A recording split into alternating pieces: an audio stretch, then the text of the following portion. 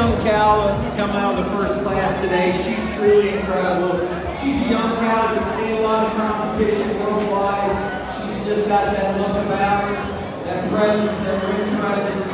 Today she's just a little harder in her frame, a little more solid in her frame, and just the memory system, as I said, the levelness of her, the feet and legs uh, today, and just a little more uh, run to that front end. Taking nothing away from the, the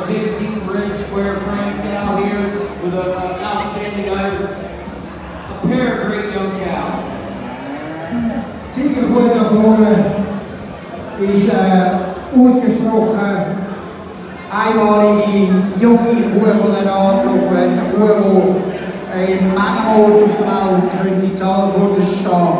Sie ist einfach gegenüber der Kuh, die er als Reserve da benannt hat, in gewissen Punkten Pyramidgewässer, vor allem im Unter, in der Ausgleichheit vom Unters, was er vorher schon beim Schönunterpreis erwähnt hat.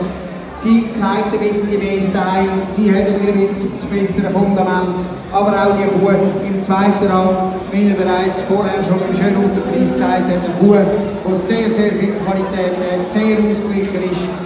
Für ihn zwei hervorragende Kühe, die weltweit überall könnten in star starker Konkurrenz widerstehen.